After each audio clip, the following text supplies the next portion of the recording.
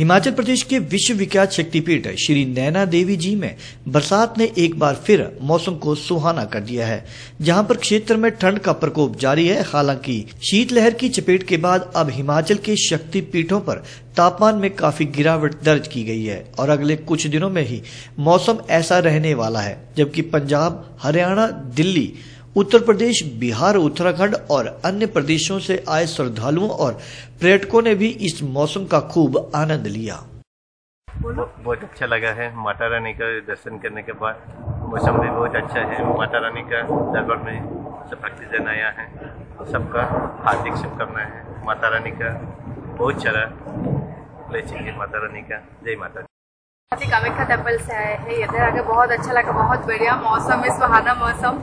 माँ का कुछ तो भी हो रहा है और माँ का इतना ब्लेसिंग है, वो फील कर रही हूँ तो पॉजिटिव वाइब है, वो भी कलेक्ट करके लेके जा रही हूँ, फिर से आना है।